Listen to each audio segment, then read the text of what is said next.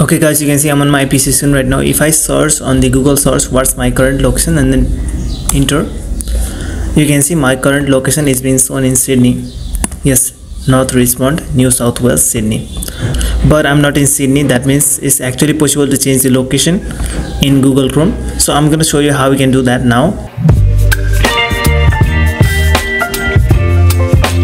Okay just firstly open new tab and then search here on the search box location guard extension. This one location guard extension. And it will load you up the search results. Just click on the first link here location guard.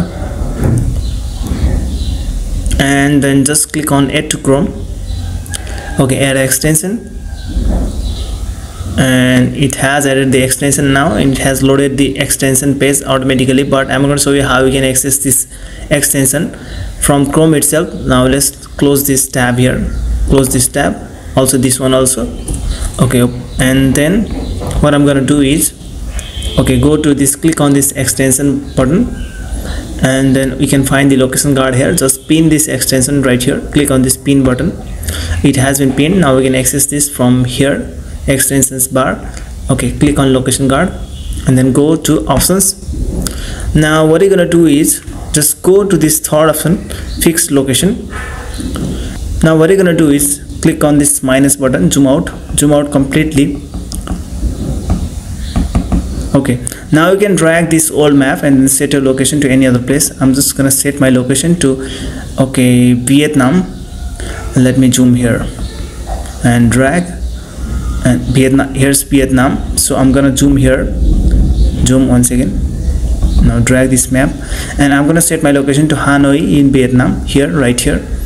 Now the location has been set. Go to options. Now set the default level to use fixed location.